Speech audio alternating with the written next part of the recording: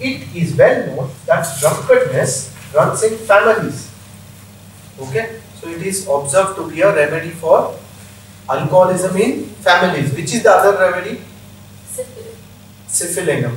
Hereditary alcoholism. So you see, it is one of those remedies uh, that is uh, similar to nosodes, no? Never well since, complaints keeps relapsing back, keep relapsing back, huh? hereditary this. Huh? so it comes very close to nosodes. But I want to tell you one more thing. It's actually skipped my mind. I told you about this, this detoxification, no? Because of which there will be this what relapse of symptoms, periodicity of symptoms, all that. You know, uh, Dr. Otto Ward, Warburg, huh? he received a Nobel Prize for demonstrating that cancer cells can happen or cancer cells are formed only when there is a hypoxic envir environment for the for that particular cell okay that hypoxic environment is created if there is lot of toxins that have accumulated around that cells which do not allow nutrients to enter in and this toxicity does not allow good amount of oxygen and nutrient to be supplied to the cell. So in an adaptive mechanism, this cancer, this cell becomes cancerous. So it starts surviving at a lower nutrition, lower oxygen, hypoxic environment. So it starts reacting to that kind of environment and that is how cancer is, cancer cells are formed if only we can supply these cells with good amount of oxygen, nutrients, huh? then the, and detoxification, the same cancer cell will turn healthy. Okay, and he received the For this. And we see all this happens in sulfur Yes, so that is why one of the reasons why sulfur is a important remedy for cancers, cancers and malignancies. we learnt about malignancies, tumors, growths. Sulfur both causes and cures craving for beer and spirits. Gallavardin cured many apparently hopeless drunkards with sulfur 1M. Next, amblyopia in youthful girls with great loss of vigor, anorexia and costive state. Amblyopia is defective vision, difficulty in seeing. Discharges offensive like rotten egg. Falling out of hair came out much in the morning on combing profuse falling out of hair. I remember one patient, she had, uh, uh, she was what, 13, 14, 15 years old. 15 years old and she developed uh, very bad throat pain. So throat pain, so she went to one doctor, two doctor. It used to get better, but again it used to relapse it so happened that along with that she had very bad hair fall profuse means uh, आपको बोलूँ क्या मैं ये what she said कि मेरे बाल पहले इधर इधर तक थे till my waist I had hair very thick long hair I had but in the last one one and a half year I have lost so much that I can't even what you say वो कुछ तो बांधते हैं ना ऐसा वो नहीं वो नहीं कर सकती she has to only put a rubber band. इतना ही है. Only this much length of her hair is left. That is the amount of hair fall she has had. So seeing this, the doctor suspected that you must be having hypothyroidism. Just check your thyroid levels. So it was seen that she was having hypothyroid. So, so now what happened? She is having hypothyroid. Doctor is saying that first we will give steroids to stop the, this and then subsequently we'll start her on Eltroxin. So the parents are little bit concerned यार इतने छोटी बच्ची को अभी से this so that is the time they came for homeopathy her main symptom was you know what that she had lot of anxiety about exam lot of exam anxiety and she, what used to happen that when she was studying she used to study a lot and because of that, she used to get tired very easily and she used to develop headache. And then when she used to go to the exam, she used to feel, this question's answer, no, I think is this. Okay, I write. Second question I am writing. Okay, I write. Now what happens? After I write second question, third question, I think the third answer is actually of the first question or the second answer is of actually of the fourth question. So I get completely jumbled up and confused. I don't know what is happening. And then I make very, very silly mistakes. And I come out of the exam. Huh? So firstly, I thought that I gave her gel Gelsemium, okay, exam anxiety, all But she didn't do good.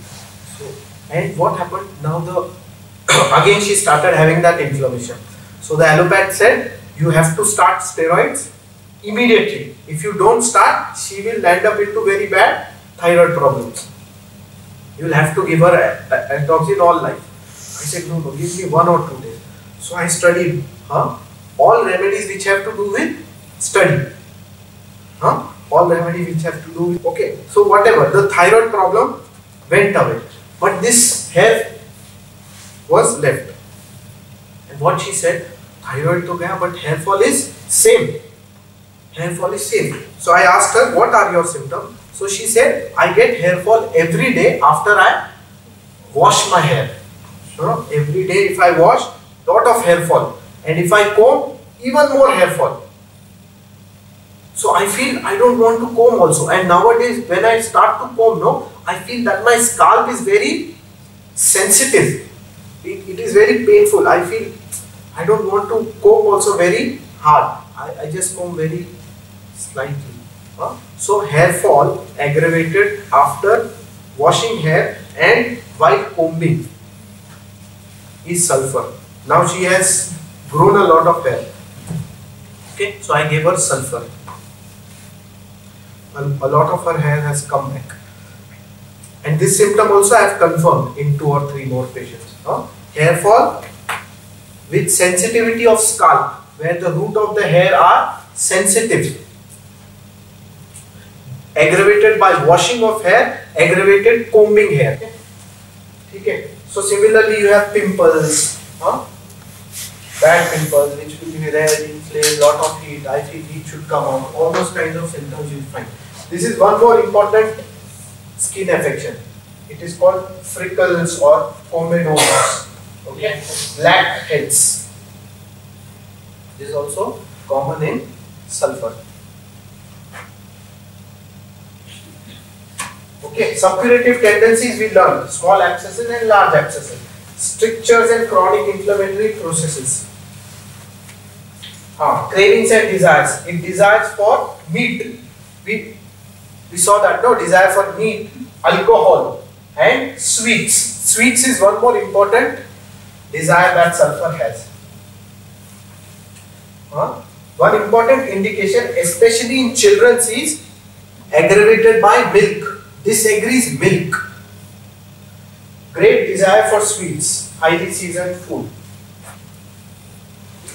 Persons who lead sedentary lifestyle, confined in their rooms in study, in meditation, in philosophical inquiry, and who take on exercise soon find out that they must eat only the simplest of foods, foods not sufficient to nourish the body, and they end up by going into a philosophical mania. One patient, huh? Uh, what you say? very high class patient. Huh? He comes and he says, uh, Doctor, uh, you listen to all these spiritual this talks. So he used to initially send me uh, WhatsApp messages, you know, spiritual quotes, all that. So I said, wow, good, all that. So one day he came for the follow-up, and what he said, he, uh, doctor, I have bought you some talks by Osho. So he gave me one huge list of all Osho talks. Huh? I said, I don't know how to take them. So he called his person and he got, somehow managed it to put it into my mobile. So, so I asked him, okay, okay. I listened to some of them. Then what happened? I asked him, what is your complaint as of now? So he says, my complaint is, you know, I have a lot of uh, mucus in my chest, lot of cough in my chest. And because of that cough, no, uh, I have taken antibiotics, I have taken what nebulizers, inhalers, all that, but it is temporarily giving me relief. But still, I feel there is lot of mucus in my chest. So what happens every time when uh, it is winter time in Pune, I uh, these pollens come. Some doctor said these pollens come. Because of that, I have what all this problem.